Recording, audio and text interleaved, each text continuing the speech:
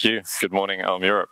Uh, as on screen, if you've got a laptop or um, mobile device handy, in, in about five, five to ten minutes, um, we'll be playing a game together.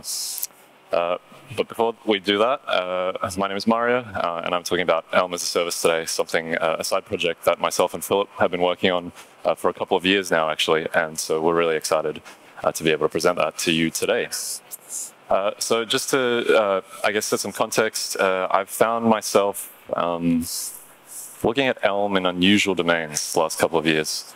Uh, currently, uh, I'm working for a company called Concordium. Uh, we're building a next generation blockchain specifically targeted at fixing some of the kind of enterprise and institutional uh, use case problems that aren't currently facilitated on current chains. Uh, so we have a partnership with uh, Aarhus University in Denmark, uh, with the cryptography and science research teams there, making a whole bunch of innovations and changes. But the one that's relevant to Elm is a, language, a new language for smart contracts that we've been working on, which is actually a fork of Elm. It is called Oak, a delightful language for reliable smart contracts. Um, so the, the really interesting thing in, in, in working on this project has been how uh, some of the concepts within Elm, namely purity um, and immutability, have translated into other domains. Uh, so I'm not talking about Oak today, um, uh, but it is a really interesting project. So uh, myself, um, Philip, and Tom are all here from Concordium. So if you're interested in this, please do come and talk to us. We are also hiring. So if you want to work on compiler level stuff, definitely come and speak to me. Uh, but what I'm talking about today uh, is another project um, that is Elm in an unusual domain. And it's actually the, the side project that myself and Philip uh, were working on that actually ended up us uh, landing Linux jobs at Concordium. So it all starts with this man. Uh, some of you may know, it, know him. This is um, Matt Griffith. and he's the author of Elm UI. Um, but originally, this is from the, his 2017 talk. originally, it was called Stylish Elements. And this was kind of the first, the first uh, glimpse for me uh, as to the, the nature of the kind of problem that I'd been struggling with or trying to solve throughout my career. And what really blew me away with what Matt did was he, he, he kind of stepped back from the problem of CSS and, and, and posed the question, well, what, what if we were to redo it from scratch, what are the primitives that we would want? Like, what, what are the core things that we'd want to think in terms of, and how do we model those? Um, and as I'm sure many of you will know, the, the, the urban legend that uh, following this talk, an emoji was uh, forged uh, in Matt's honor, namely the mind-blown emoji. Um, totally true, all that. Um, this further kind of sunk in for me uh, uh, with Richard's talk at ReactiveConf, and he articulated what, why this was so insightful, at least for me, why it seemed so insightful. It's we had a whole bunch of things that were keeping CSS semantics. So it's like, you know, we, have got this thing and it's just, if only there's a better way for us to deal with it, so we try and layer tools and, and things on top of it. Uh, and then in terms of having no relation to CSS, things that go, okay, well, what, what if we use CSS as a, as a, as a target? Um, what, what, what could kind of happen there? And in a way, it's exactly the same thing that Elm's done. You know, Elm has gone, okay, well, what if we didn't keep JavaScript semantics? What, what would we kind of want in, in a front-end language? So this, this, this notion of this idea um, kind of tied me to this question that I've been asking myself throughout my career. It's like, oh, if only I had a better CSS framework. And if I'm to kind of stretch this analogy a little bit, maybe unfairly, it's kind of a bit like, you know, when people are like, oh, if only we had a faster horse. And if we kind of like just kept on that for ages, we would have just gotten incrementally faster horses, but maybe would have never discovered the car. Now, mind you, the car today has a particular context for us. You know, governments have invested in roads, they're quite prolific, but the early cars were pretty bad. You know, like it's like, it, it, it, was possible to see why not everybody was convinced it might be a thing. Uh, but, but in any case, the exploration, uh, I think, uh, had value at that time and, and, and resulted in something new and interesting by not assuming that we just needed a faster horse. So I'd like to motivate you with a problem. Now, this is a problem that I've had for myself. And uh, what I'm talking about today is really a problem that Philip and I uh, have been trying to solve for ourselves primarily. So worst case, we'll have a solution for ourselves, and maybe no one else has this problem, but, but I hope you might. Uh, so here's, here's how the, um, the kind of scenario plays out for me. Uh, I have a lot of ideas, a lot of apps and things that I want to build. So let's say I think of a, a, new idea, an amazing idea, and I get really excited to build this idea. And I start, I'm quite visual, so I start thinking in my head, oh, it's going to look like this, and it's going to work like this, and these are how the things are going to lay out. Uh, and of course, you know, as we've heard Evan say, like code is the easy part. Uh, so as always, I go, sweet, let's do the easy part first. Dive into the code, um, start like doing up the front end screens, getting really excited about it all. And then you get to this point where you're like, ah, oh, like backend, like I need persistence now. And you're like, okay, so I've got Elm, Elm's good. Um, I like Elm. Well, I need something for the backend. Uh, and then I'm gonna need something for storage. Um, what, what am I gonna use there? Like, you know, GraphQL, I've heard that's a thing. Is that even storage? I don't know. Maybe I need to research that.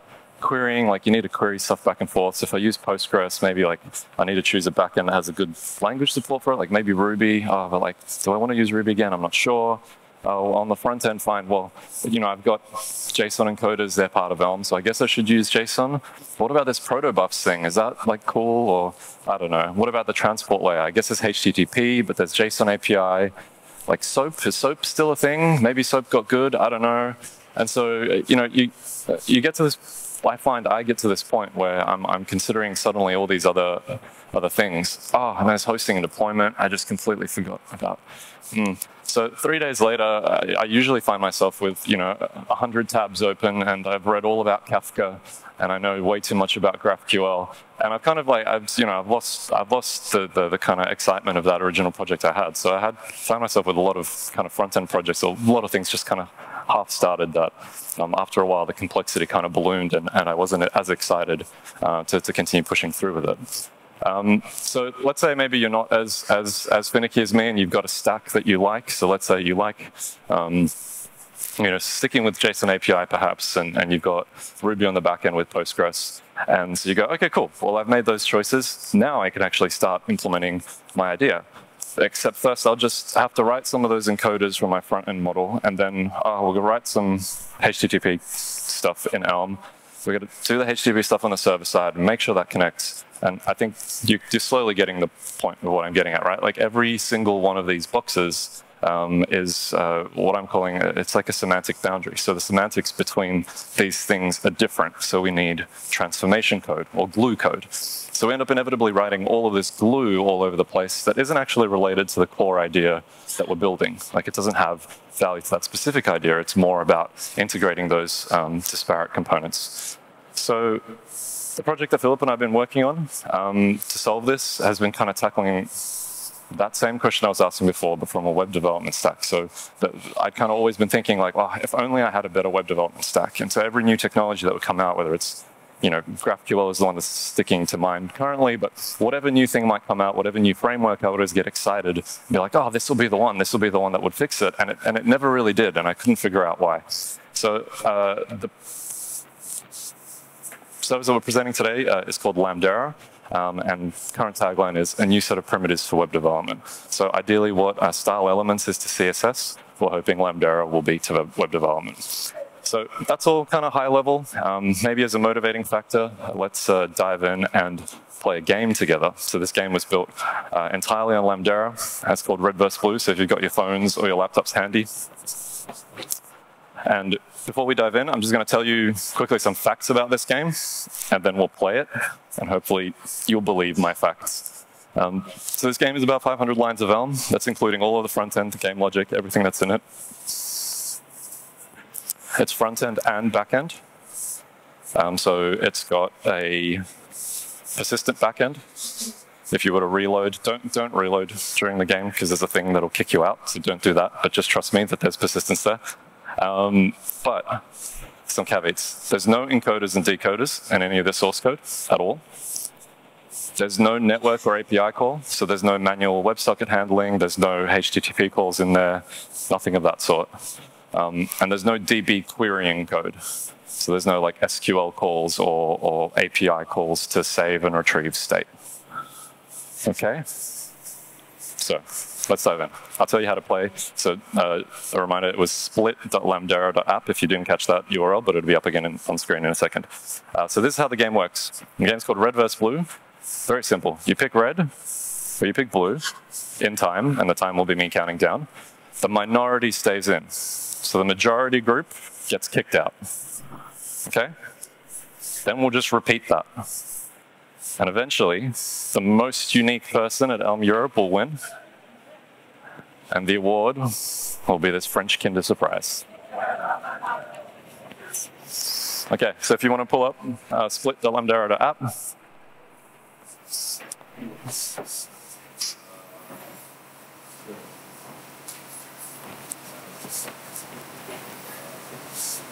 All right. Is anybody not connected yet? Anyone still? All right. Give you another couple seconds to join.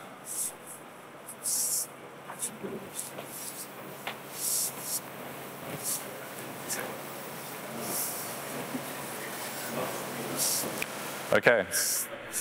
I'm going to call it. So this will be quite quick. You got to be on your feet. I'm just going to do a manual counter, okay? And so there's an extra psychological element to this. All right, you ready for this? I'm playing as well. So you will get to see what I choose. But is everyone else picking what I choose? Or are they picking not what I choose? All right. All right, so starting first round, off we go. All right. So round ending in three, two, one. Oh, I'm out. Okay, we got 31 players left. Okay, so we'll let those players pick. We'll give you three, two, one. Oh, five players left. That was a big split. All right, I hope those players are chosen. Knocking them out in three, two, one. We got players rejoining us. I don't know how's that working. I don't know. Let's let's let's keep rolling. Three, two, one. Oh, final round. Three, two, one. Yeah. So we got someone's got a winning screen on their phone somewhere. Yes, congratulations.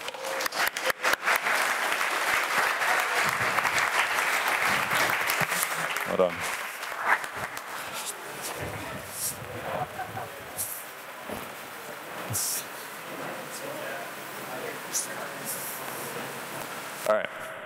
So hopefully that that uh, motivates you to believe some of the facts that we just claimed. Um, so let me let me kind of run through uh, how this works. So uh, the way I'd like to do this is by kind of stepping back and thinking about um, thinking about if we were to try and model web development as a specification um, or at least a particular kind of web development, maybe a, a, simplified kind. So the one that you'll be, the parts of the spec that you'll probably be familiar with is uh, this notion of the front end, and you've got some state on your front end, and you've got some events that happen on your front end.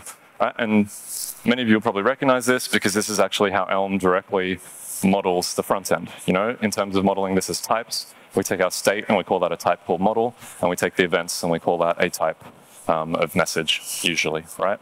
Uh, then Elm kind of gives us the, the plumbing to manage that truth. Uh, so what I'd propose is that when we think about the backend, it's actually exactly the same. So we've got some sort of state on the backend, and we have a whole bunch of events that can happen on the backend. In some ways, it's not too different. So the missing piece then is, okay, we've got this front end thing, and we've got this back end thing, but then what? You know, two disparate entities uh, that don't talk to each other isn't, isn't super interesting. Um, so we could maybe conceptually say, okay, well, there's events that happen from the front end to the back end. You could think of them as messages, or you could think of them as data transfer, or you know, we, we generally wouldn't say like an on-click is a message, an on-click is an event, and fire is a message, but you know, there may be conceptually things that happen from the front end that want to drive something on the back end, in whichever way that is. And there may be things that happen on the back end that want to drive something on the front end. So in the way that we've been thinking about this, these are the six baseline primitives that we've been able to find, and this is kind of the simplest level that we've been able to get to. And so far it seems that you can model everything that you want on top of these six primitives. So let's do what we do in Elm. Let's take that specification and try and model those primitives as types. So if we were to take the front end, this will be familiar to most of you. We'll put a model on there, and then we've got a message type that kind of comes back in, and that's in a simplified form what a front-end Elm app is. So we're just going to make this a little bit more specific in this case, because we're going to have more than one message type firing around, so I'm going to call this one front-end message. Now, the second part of this then is, okay, let's think about the backend. So we said it's got a state and it's got some events that happen, so maybe we model that in the same way. Let's call it the model type. Let's come up with a backend message. And now we've got the front end and the back end. So the question is, okay, we've got two sets of events left, those that go to the back end, those that go to the front end. Well, we already have a mechanism for modeling events, and that's messages. So let's create another message type for things that go to the back end, and another message type for things that go to the front end. And that's it. That's all that Lamdera is. So now the plumbing. You'll know the view and the update function from Elm. Well, on the back end, there's no person there, there's no kind of user, so we don't really need the view function. So we just drop that one off. And then the final missing part of this is, well, we know that uh, the update function signature takes a message type, right? And so if we replicate that in the backend, this update function here in the backend will take the backend message type. But we've got two additional message types that are currently unhandled. So how do we deal with those? And so the way that we've approached this is we had two additional update functions. So now we've got an update from backend and an update from frontend. The question that's been asked is why not simply have just the front end message and just the back end message and have each one call each other? Um, that would be one way to do it. In fact, you could still implement uh, that uh, in this method. Uh, the strange thing that would happen though is then suddenly your backend is able to issue front end commands like user clicked button, which is a little bit weird. Uh, and conversely, your front end may be able to execute backend messages like admin definitely destroyed database, which you probably don't want. Um, so in, in, thinking about like the semantics of the pieces, uh, we kind of found that usually what you're transporting between the front end and the back end is a different thing. They're different kinds of events and they have different sets of data in them towards the states and events that happen on either side of the app. Okay, so the missing bit then is how does this transport actually work? Like how do we think about this uh, in terms of the usage within Elm? And the simple answer is we have a function. So this is a simplified signature. Um, the actual signature has got a couple more parameters in there to tweak specific things, but conceptually I'm just going to keep it at this for now. Uh, so this notion of send to backend. So we had a message type of to backend that is the same as a normal uh, Elm message type, and we'll show, show you a, uh, an example of that in a second. Uh, but you simply put the message that you want in there, and you get a command back that'll send that to the backend, and that's it. How do you send it to the front end? Well, same thing from the backend. You've got a uh, function. This one takes a client ID because we want to know which of our front ends. There's only one backend, but there may be many front ends. Which of our front ends we want to send to. And then we've got a to front end message that we put a value in there. Um, and we get a command message that we can use in our update functions. And that's it. We don't see any of the underlying stuff, any of the underlying transport. Uh, what this kind of translates to is the same way as when you set an on-click handler uh, onto, onto an HTML element you don't really think about what's happening behind the scenes. When you click that button, conceptually, we just assume that that message somehow makes it to our update function. You don't think about the fact that Elm is attaching event handlers, that it might could be converting that label to some sort of string, that it's passing that string and interpolating and doing that kind of stuff. Like conceptually, we have this freedom to go, okay, the on-click is this message, and I can think of it like that conceptually. Uh, and it's the same thing in Lamdera. Is uh, you just assume that, that whatever that value is on the front end will just appear for us in the back end. So in terms of the glue problem, and this is the bit that we're um, really excited about, uh, we say, okay, let's start with Elm and Lamdera and see kind of what it eats up. Well, it's covering off the front end side of things. Um, the encoding is automatic. The transport is handled for us. We simply say we want this message value to be on the back end. The decoding uh, is taken care of. Back end is subsumed by it storage kind of isn't there, and then we say the hosting and deployment is kind of part of it as well. And so the, the premise here is that you no longer have a whole bunch of boxes because the boxes have gaps and the gaps need glue. Um, instead, we've got kind of one system. Uh, so we think, and it seems so far in, in, the apps that we've been building, that there is no glue code at all. There is no code that you have to write in this scenario that transforms from one kind of semantic domain into another one. You simply just go and straight write the actual stuff that you need for your app, as opposed to gluing together specific things. And that's what we're really, really excited about. So let me motivate you perhaps with a bunch more demos of, of some stuff that we've been building uh, in the last couple of weeks, um, so we can see how this all fits together. I'm not going to do these uh, as live demos interactively uh, with you guys. I'm just going to have Philip down here at the front um, uh, joining me on them. But every single one of these demos is a multiplayer demo in a sense, so it's all it's all um, mass user. Okay, so the first demo uh, we're going to talk about is a multi-user counter app. So most of you will probably be familiar with the Elm canonical example, and I'm going to show you this source code briefly as well. Uh, so fairly straightforward counter app. If I decrement, it goes down. If I increment, it goes up. Uh, the difference with this app, though, is that um, if Philip loads this app up, uh, and increments and decrements,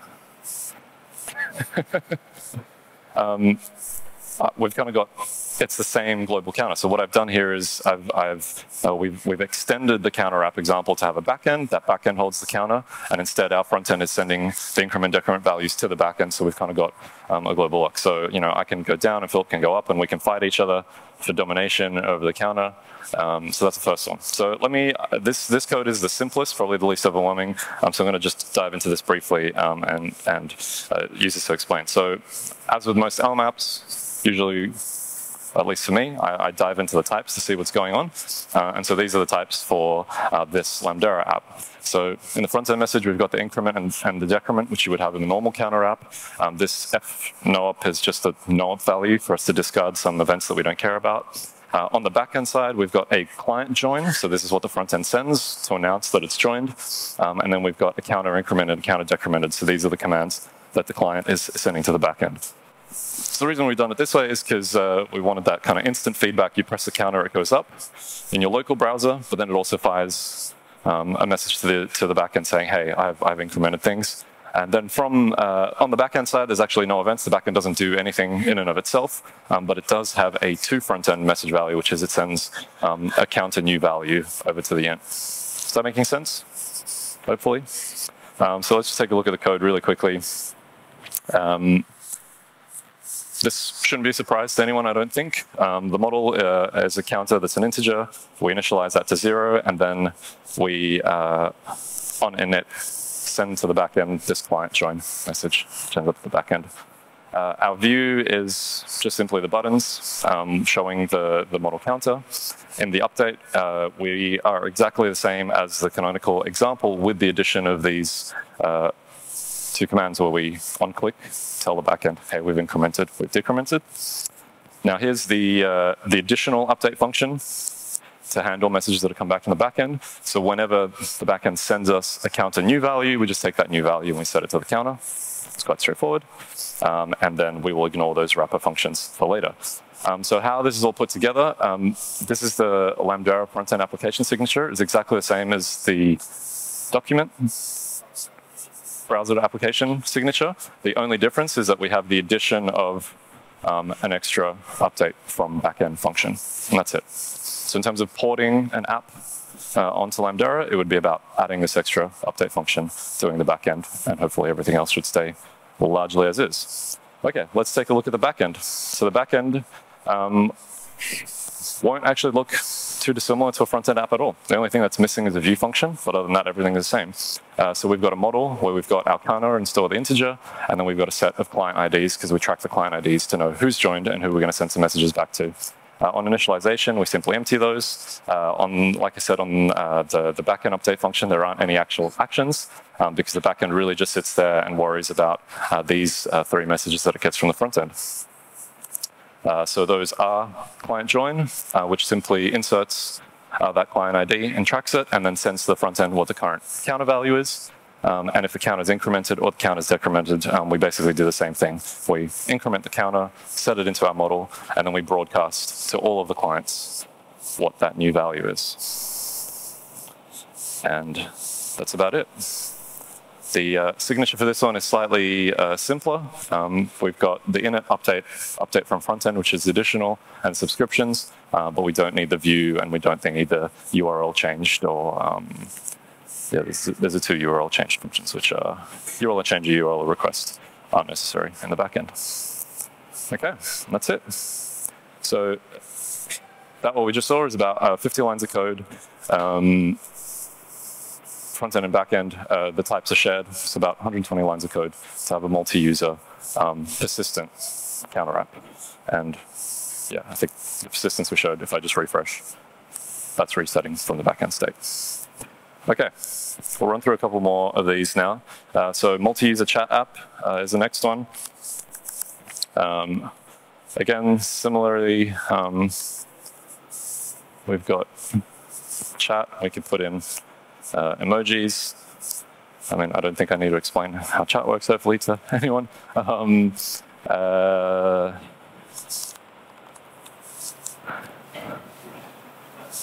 Cool. Um, so again, that is a quite straightforward app. Uh, in total, it's only 230 lines of code. That's including the logic uh, and the, the front-end UI. Um, and again, you can see the backend is quite slim and stuff is shared. So I won't dive into that code, but uh, uh, some of these code examples will be up afterwards, and you can and you can come and take a look at them. Uh, okay, next demo. This one we really like. Uh, I'm not sure why it's cut off, off screen a little bit. Uh, but basically, uh, this is a collaborative Markdown editor. So it works in real time. Um, I can put stuff in here. Oh. Is my Wi-Fi connection dropped? No. Yep.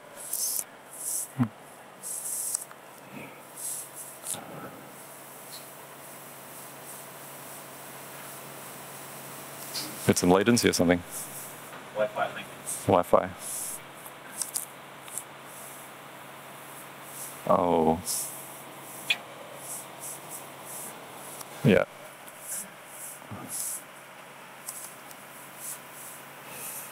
Okay, it looks like the Wi-Fi has dropped out. That's a shame. I can see changes.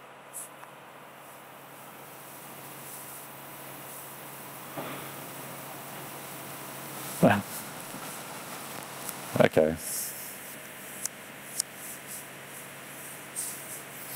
Okay, some funny business going on. In any case, I'll just believe that uh, this would uh, um, basically, yeah, the, the, the markdown uh, file that's on the left-hand side, that's being synchronized through the server and shared with all clients. Um, Philip implemented a uh, like a syncing diffing algorithm to figure out where the conflicts and the changes are, and then on the right-hand side, it just kind of keeps being updated. Uh, so the nice thing is, when this does work, it's just it's like Google Docs but with Markdown kind of thing. Um, yeah, I don't know what's going on there at all. Um, okay. Uh, cool. So the Markdown app, uh, again, not, not really too much going on there, about 500 lines in total, most of which is kind of that sync library. So the UI in the backend is still quite straightforward. Uh, okay, let's power through the last couple. Uh, so this is a to-do app. Um, so most of you are familiar with this, uh, hopefully, uh, one of Evan's uh, written examples. Um, and so write a new cool Lamdera app. I think we can say we've done that. And uh, maybe some other stuff needs to be done, uh, which is like get a user feedback and maybe give Kinder to everybody. I don't, I don't know if we have the budget for that. I might just remove that one. Um, yeah, so the, uh, this one is interesting because this was a conversion. So we had an existing app that didn't have a backend. And we thought, uh, what would it take to convert it? How many lines of code? Uh, not that lines of code is, necessarily a metric. I think it just hopefully gives you a rough idea of what's going on. Um, but uh, you know, full disclosure here, this is a professional certified Lamdera, a Lamdera developer, Philip, um, who uh, who did this and the added and removed, most of that is really just moving types around, putting types kind of in a shared location. Um, so it took Philip all about 30 minutes, including deciding to improve some things in the modeling of the to-do app unrelated to Lamdera. So we thought that was pretty cool. Um, okay. Another big piece of the puzzle that I'd like to um, briefly touch on, those of you that were here last year or, or may have seen, I spoke about Evergreen, uh, this notion of having type safety between versions of your apps so we can deploy new versions and not, not, use, uh, lose, uh, not lose user state. Um, and the the way that Evergreen worked, just as a quick refresher, was that you've got this notion of uh, application one, application two. You've got all your state in application one, and you kind of want to get it across to application two.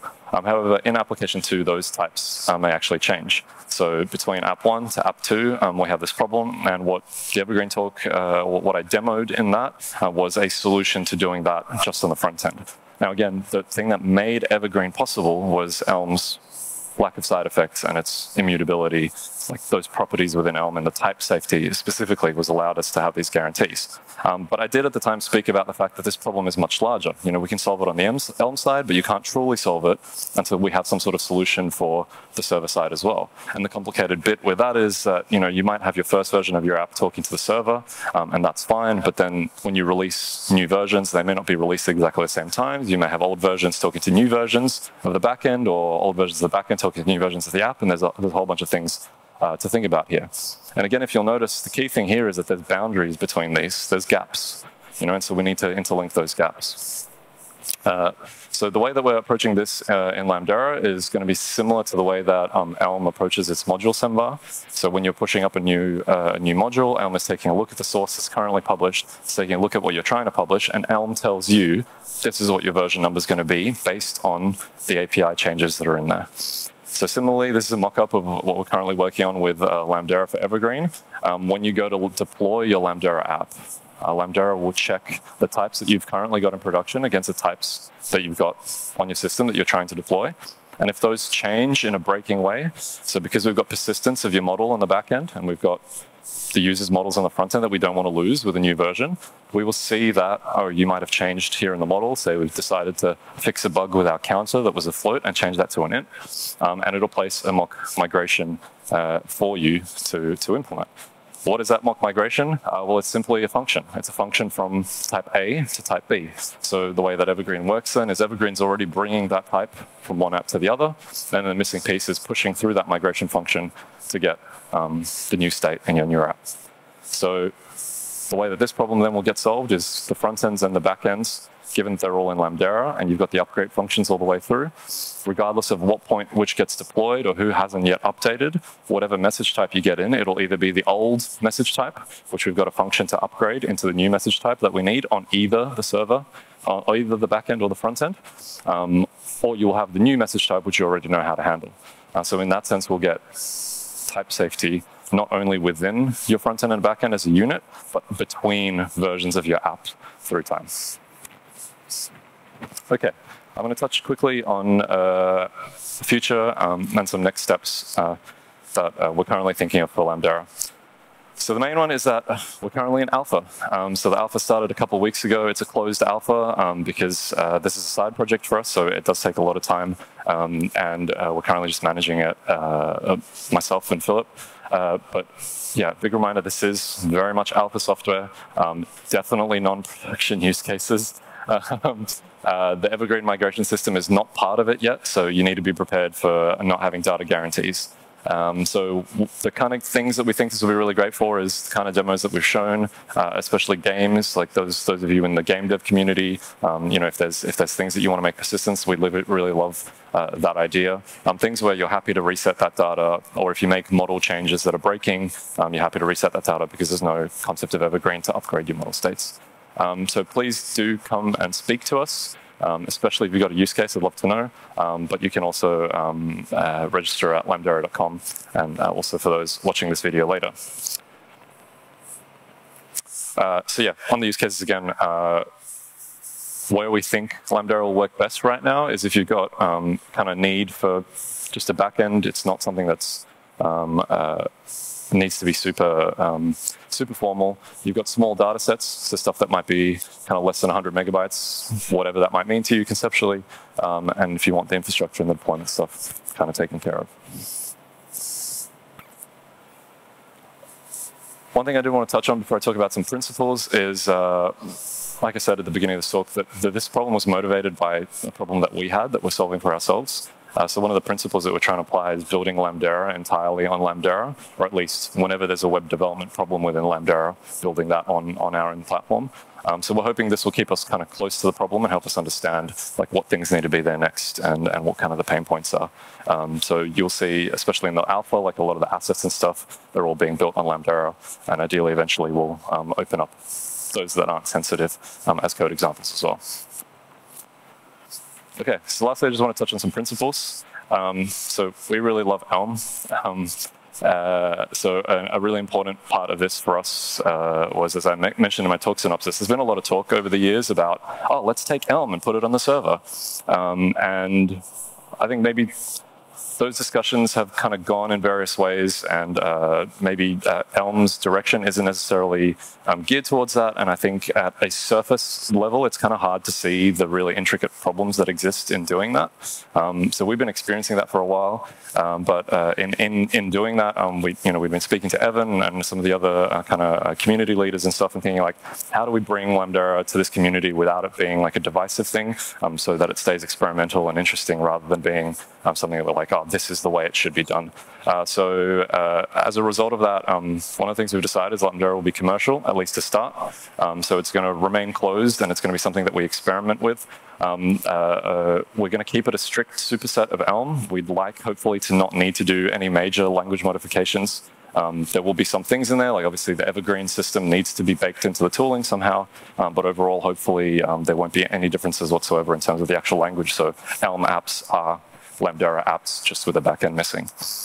Um, the implementation is abstracted. Um, I haven't really talked about it today. That's because we kind of feel like that's not really the important bit, especially because we already know even the proof of concept that we have now that everything's running on, it's, it's going to change. Um, but we are proud that the backend has no JavaScript, no Node.js, nothing of that sort there at all. Um, so that was one of our design goals uh, starting uh, early on, and we've, we've preserved that. Um, so that's really exciting for us. Um, and we also think that forks should have uh, economic disincentives. Um, so eventually, we're fairly sure we're going to probably get into realms where we need to fix problems in Lamdera that maybe aren't fixed in mainline Elm yet. Um, so the way that we're thinking about doing this is that in order to get access to those, um, there's an economic disincentive to use those longer term, and it gets progressively more expensive. So the way, same way that Microsoft does um, end of lifing stuff, uh, because again, our goal is really to keep close to Elm, not to create another fork that goes off in a different direction.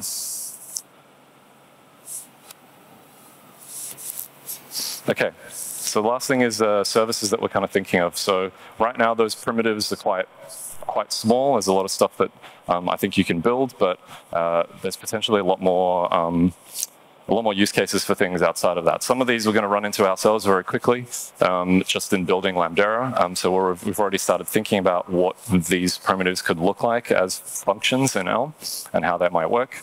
Um, so yeah, things like email, file uploads, images, like, you know, what, what is the API for that? How does it look? How does it feel? Um, request response semantics, do we need them? Maybe, I'm not sure. You could build them on top of the primitives we have now, but it might be a bit clunky. Uh, authentication, again, like what is everybody's different use cases? Is there like a general set of tooling that helps um, people get going with that, or do we just leave it for everybody to bake it in, custom domains and onwards? In terms of the use cases, if you have an idea, or if there's something that you really want to build on this, but you're prevented by some particular feature or something, that's the kind of stuff that we're really interested in hearing about at the moment. Oh, one more thing that'll leave you on a on a final uh, final drop. Um, so Philip uh, this week uh, has been working with uh, I only know his handle. Malax. It's it's Manuel. Manuel.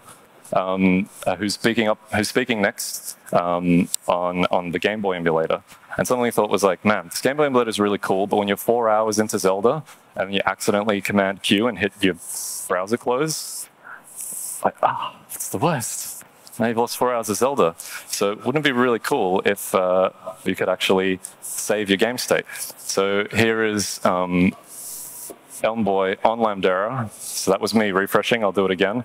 Um, and that is a game save state being pulled back from the server and refreshed into the Game Boy. And uh, just to prove that this is working, maybe we'll uh, maybe we'll jump. I'm really terrible at this game. Oh, I made it. Okay, so let me hit the save button. Hopefully that's saved in the back end. And so if we refresh this now, we should get our sheep at the bottom. There we go.